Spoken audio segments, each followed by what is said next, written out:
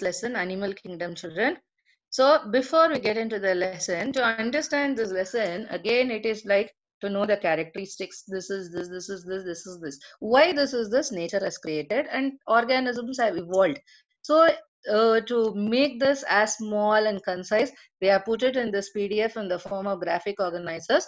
Now let me explain to you and here also I would like to show you some slides because again most of the diagrammatic questions are from this chapter. Now depending upon the type of cellular organization, organisms you know they exhibit different kinds of organize levels of organization. One is cellular level of organization. Here the cells are arranged as loose aggregates. Some division of labor will be seen among the animals. If your example would be porifera. Tissue level of organization you know when group of cells uh, organized together they form a tissue. And this is the tissue level of organization.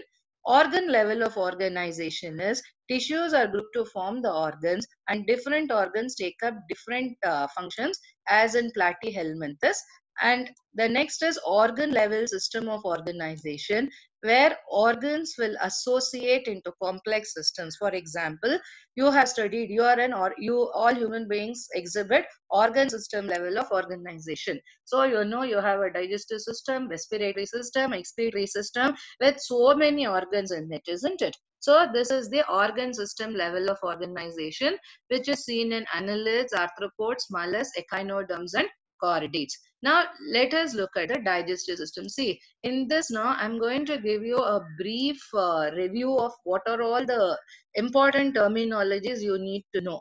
When I'm getting into the phylum, you if I say this is complete, incomplete or this is this, this, this, then you shouldn't get baffled. What are these terms? You don't have to refer back. That is why I'm now giving you in the beginning itself the explanation for the terms that are used when we are uh, describing the different phyla. Now digestive system, if it has got both a mouth and an anus, it is said to be as complete digestive system. Now, if it is, uh, it, if it has only one opening which serves both as a mouth and an anus, then you call it as an incomplete digestive system. Circulatory system again will be of two types. One is the open type. Here the blood will is pumped out of the heart and cells and tissues are bathed in it. So it is an open type of circulatory system. In closed type, the blood will flow through arteries, veins and capillaries or through uh, blood vessels. Now, based on the symmetry, you know, organisms are divided into asymmetrical organisms, so which cannot be divided into two halves in any plane. For example, if you take sponges, you take them in any plane, you will not be able to divide them into two halves. Now, radially symmetrical organisms. So, when any plane is passing through the central axis of the body, it should divide the organism into two identical halves. So, it is almost circular in nature coelenterates, ctenophora and echinoderms are examples. So these examples you please make a note of it kids. This is very important because they will mix and ask you to identify the organisms that show bilateral symmetry or organisms that show asymmetry or the organisms that will uh, show radial symmetry. So you should know the organisms well. Now, bilaterally symmetrical organisms, animals whose body can be divided into right and left halves in only one plane are called bilaterally symmetrical organisms.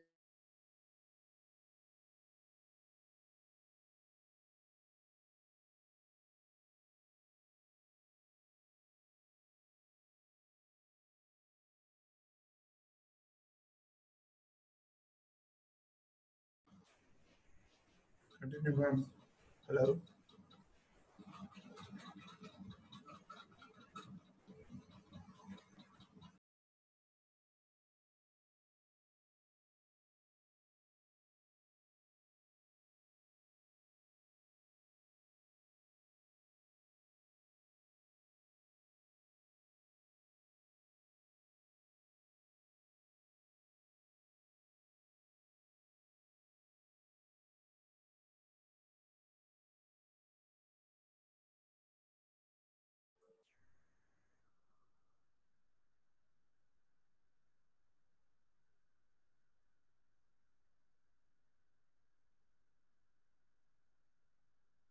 Shall I go from the beginning?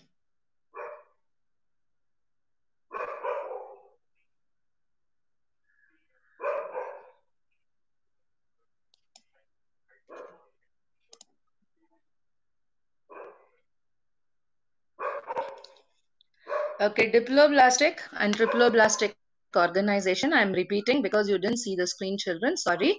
Now, diploblastic organisms are the animals in which the cells are organized into two embryonic layers an external ectoderm and an internal endoderm. So ecto means outside, endo is inside. Please remember this word. So the layer that is outside is the ectoderm and the embryonic layer that is inside is known as the endoderm.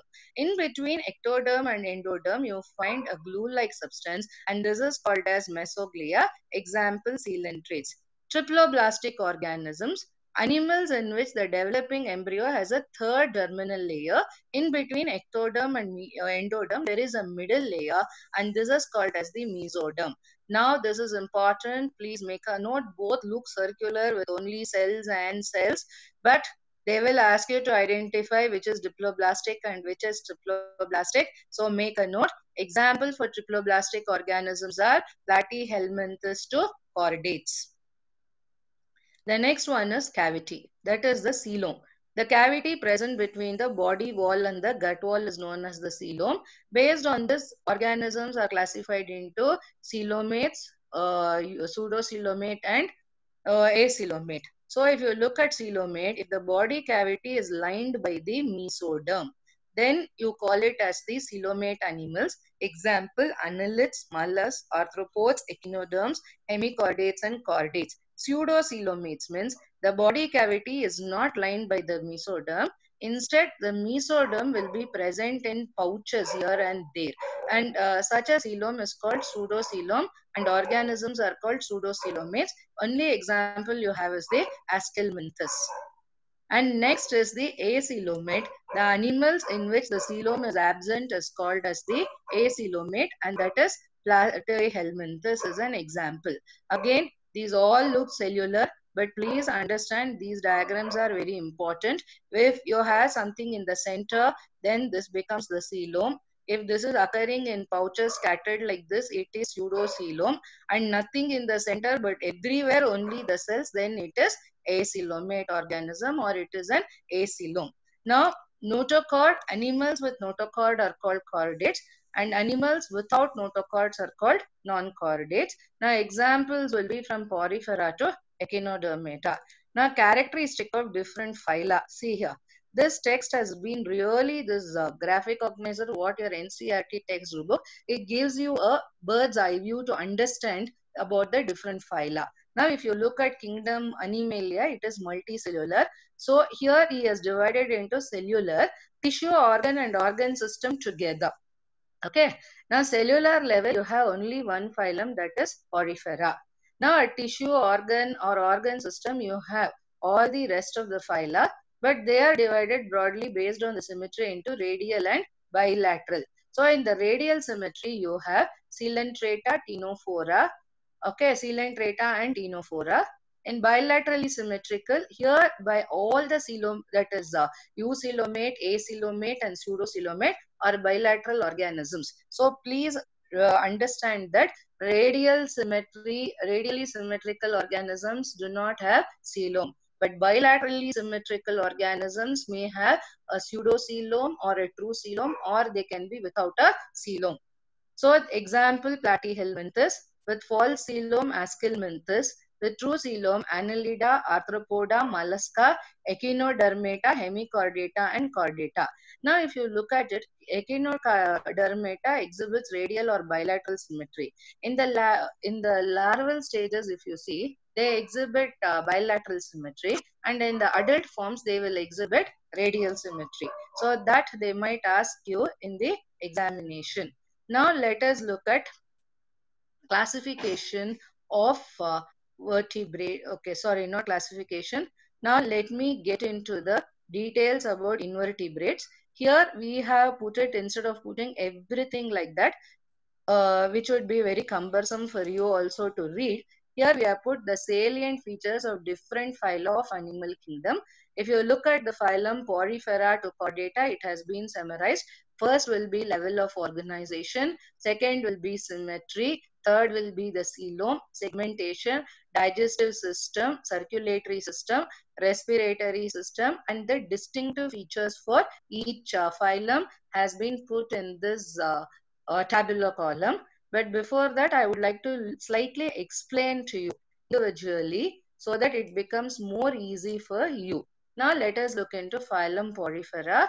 These you know are commonly referred to as sponges, generally marine and mostly asymmetrical. They have primitive multicellular organisms with the cellular level of organization. Sponges are canal system wherein water moves to ostia from different by from the sides of the body to a cavity in the center called spongocoel and through an opening at the top called as the osculum.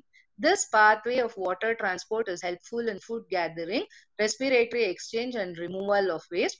Digestion is intracellular. Body is supported by skeleton made up of spicules or spongin fibers. Organisms are hermaphrodites. Now let us look into phylum Porifera. This is very, very important. They might ask you, they will just give you these three organisms as A, B, and C in a jumbled order. Uh, they will not give you in the same order as it is found in the textbook. You have to identify this is a sycon, this is a euspongia, and this is a spongilla. Now, if you look at porifera, we have put the key features here. So here the key feature will be body with pores and canals in the walls. Now let us look into the next phylum. That is phylum Coelenterata. They are aquatic, marine, sessile or free living organisms. Sessile means that which is attached to the substrate. They are radially symmetrical. They exhibit tissue level of organization, diploblastic. Digestion is extracellular and intracellular. Some cnidarians are skeleton of calcium carbonate. They exhibit two forms. One is the polyp form and another is the medusa form. See, this is an umbrella shaped structure is called as the medusa form and long tube, tube-like structure is called as the polyp form. Now some cnidarians will exhibit both the polyp and the medusa alternatively and this phenomenon is known as metagenesis.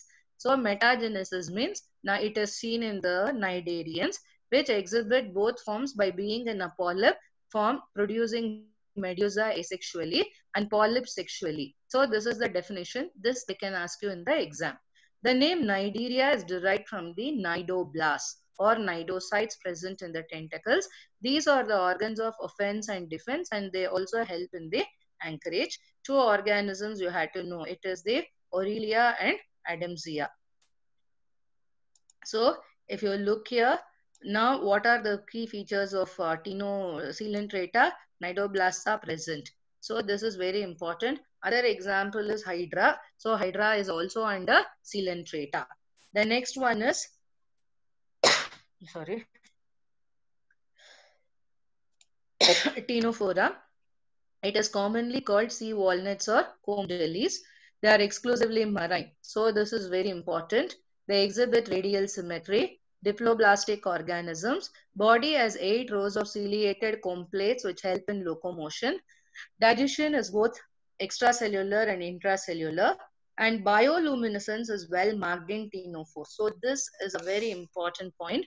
You might find bioluminescence in uh, insecta, but in um, invertebrata, if you see, phylum Ctenophora shows bioluminescence. Sexes are not separate, so they are also called hermaphrodites. Reproduction is by sexual means. Fertilization is external and they exhibit indirect development. Indirect development means from a larval stage, the adult stages got. So this is one example you have. It is called as the pleurobrachia. Now see here we are given comb plates for locomotion. This is the distinctive feature of Ctenophora. The next one is Platyhelminthes. Flatworms. They are platyhelminths are the flatworms, mostly endoparasites found in animals, including human beings. Bilaterally symmetrical, triploblastic, acoelomate with organ level of organization. They have specialized cells called flame cells. This is very important. So they have specialized cells called flame cells which help in osmoregulation and excretion. Sexes are separate. Fertilization is internal. Development is through larval stages. Hooks and suckers are present in parasitic form. Some of them absorb nutrients from the host directly through their body surface. So these are the two platyhelminths. This is a tapeworm and this is a liver fluke. So this is very important diagram. Now annelida, aquatic or terrestrial, free living and sometimes parasite parasites. They exhibit organ system level of organization and bilateral symmetry. They are triploblastic, metamerically segmented and animals. Metameric segmentation means each uh, body is divided into smaller segments which are similar and repeated. This is known as metameric segmentation. Body surface is distinctly marked with segments and this is known as metameres. They have circular and longitudinal muscles that help in locomotion. Circulatory system is closed. Neural system consists of paired ganglia connected by lateral nerve to a double wall nerve cord. Nereis is dioecious, but earthworm and leeches are monoecious. So this is very important. Please make a note of it. Nereis is dioecious, earthworm and leeches are monoecious. Now here you find out the phylum Annelida. This is the Nereis. This is the earthworm and this is the leech. They might ask you to identify what is what, which organism is which or they might give you the structure of uh, Nereis and ask you to identify this is a tentacle, palp, parapodia. So these are the things you will be able to identify. In earthworm, it will be genital papillae and the anus they might ask you. Next is phylum Arthropoda. This is the largest phylum is Arthropoda of the animal kingdom. Now bilaterally symmetrical, triploblastic and segmented coelomates. They have organ level of organization. Body is covered with chitinous exoskeleton. That means the skeleton is made up of chitin. Body consists of head, thorax and abdomen.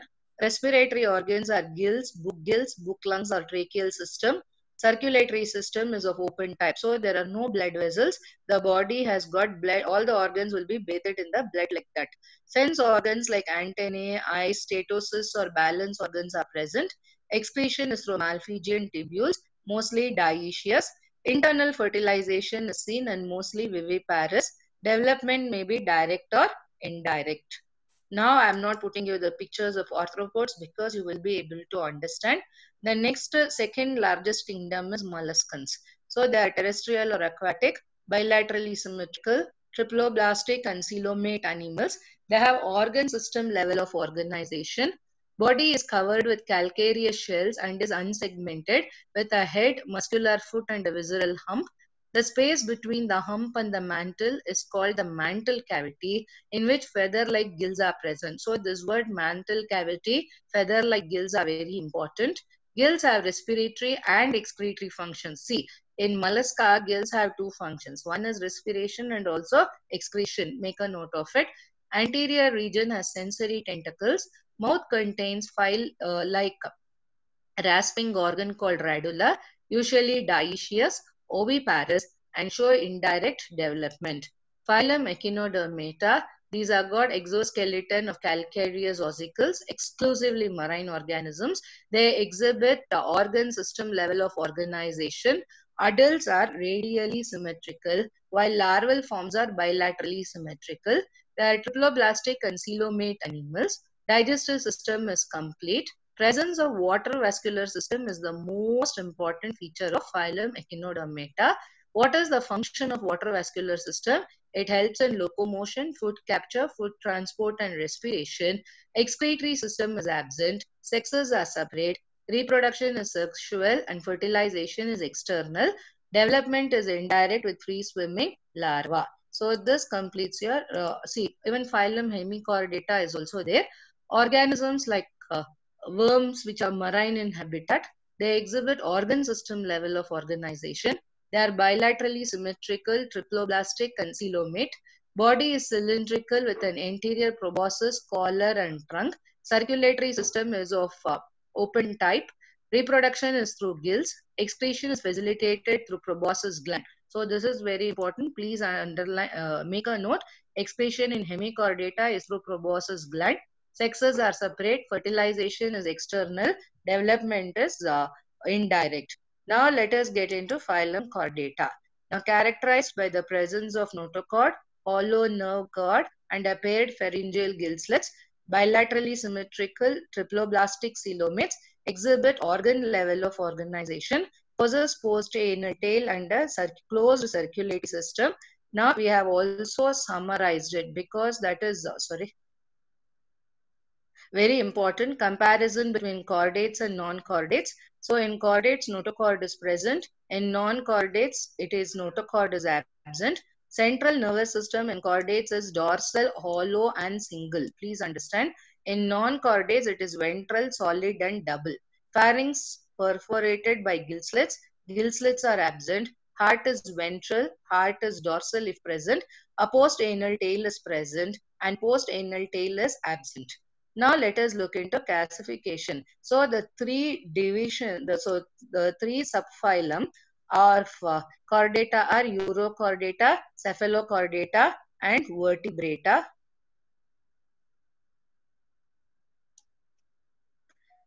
Now how the division vertebrata is classified, let me give you an example. The, let me explain. Agnatha, that is they lack jaw, class cyclostomata. Gnathostomata bears just. So super class. Now you should understand fishes come under super class. So and tetrapoda comes under the super class.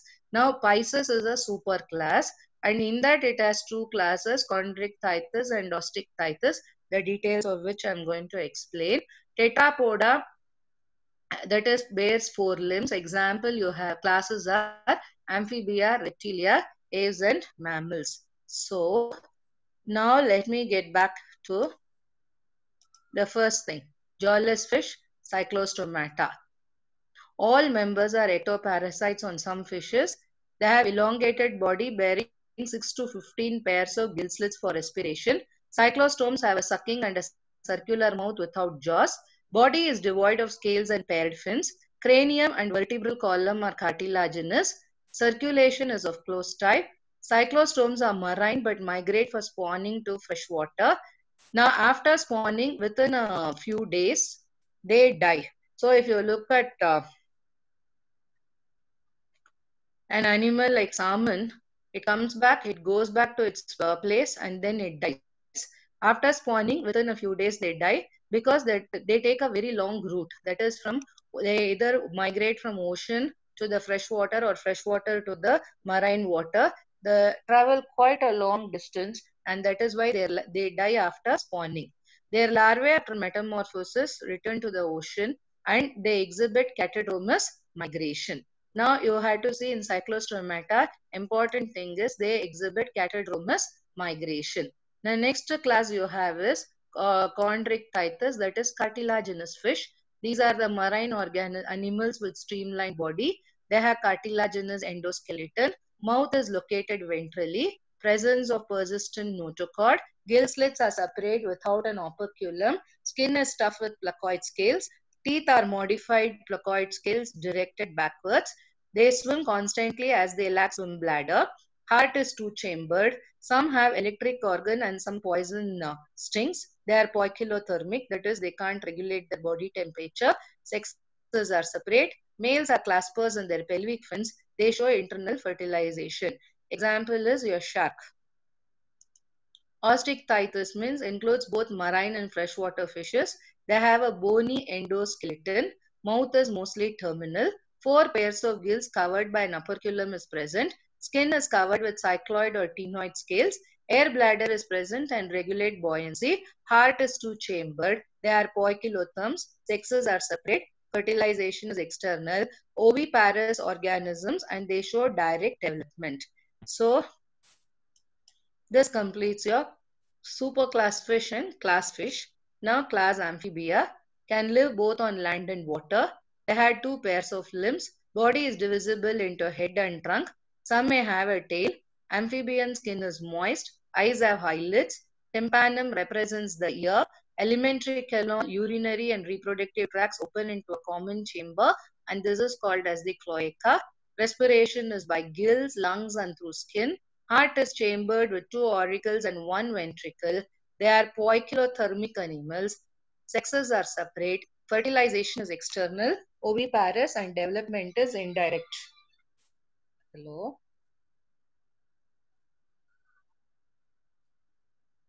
uh, another five minutes. Maybe test I will show them on some other day. I have two, three more slides to go.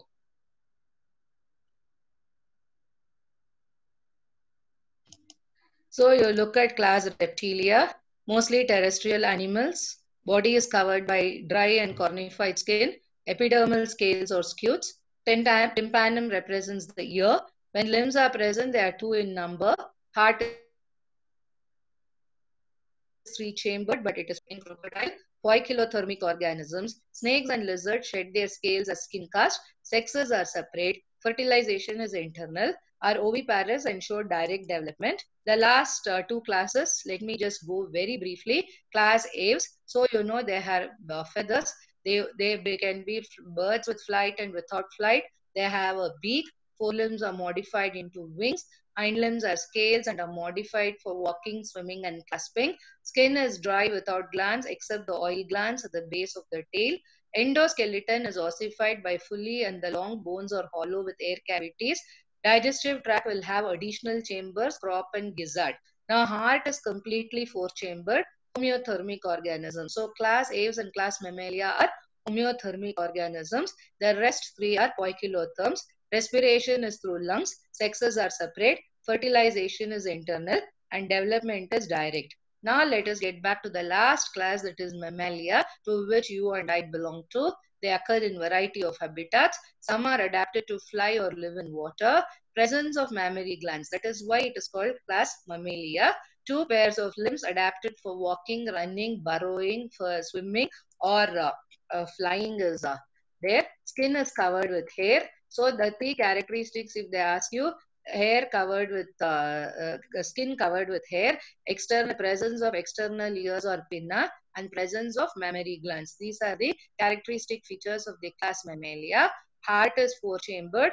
Respiration is by lungs. Organisms are viviparous and development is direct. So, now I know that it is a little cumbersome for you to understand all these things, but once you read it, when you're reading, keep one organism in your mind and keep on ticking. And the entire thing has been captured in a nutshell for you in this uh, table with the salient features of different uh, phyla of the animal kingdom. And uh, we have also put the examples which they will ask you in the exam. So if you look at Porifera, Sycon, Spongilla, Euspongia, Coelenterata, Physalia, which is also called Portuguese man of war, Adamsia, Pennatula, Gorgonia, Meandrina, Ctenophora, Pleurobrachia, Ctenoplana, Platyhelminthes, Taenia fasciola, Aschelminthes, Ascaris, Wuchereria, and Ancylostoma. Wuchereria is the one which causes filariasis. Annelida, Nereis, Pheretima, Hirudinaria. Hirudinaria is the leech. Arthropods, Apis, Bombyx, Lacti, Laccifer. That is economically important. Anopheles mosquitoes, Culex, Aedes, Anopheles, Culex, Aedes or vectors. Locusta are gregarious pests. Limulus is a free is a living fossil. So why we have given you these clues? It is easier for you because questions have been asked based on these uh, traits. Now mollusca, Pila, Pinctada, Sepia, Loligo, Octopus, Aplysia, Dentalium, etc. Echinodermata, Asterias, Echinus, Antedon, Cucumaria, Ophiura, Hemichordata, Balanoglossus, and Saccoglossus. See, I know it might be a little overwhelming when you are reading this lesson, but I'm again repeatedly telling you, please don't go beyond your textbook. All the questions will be asked within your uh, textbook and uh, stick on to your uh, textbook. That is what I would uh, say. Now, before I end this, in this uh, select package, if you take anything like uh, as I said, if you take uh, NEET uh, premium, and then I this is subject wise tests are there. If you look at the NEET full test, there are 38 tests in which some uh, 15 are uh, teacher created tests. So we have taken into consideration NCERT based questions, previous year's questions, and also the ones that can change the game, game changer questions. And uh, we have created a question test that will be useful. And we also have got NEET past papers for 20 years which will be of uh, great help to you. That is why i'm still suggesting that you go in for this uh, package. And uh, this would really help you to have a thorough revision and uh, thorough practice so that you are able to face NEET exams with confidence. Thank you children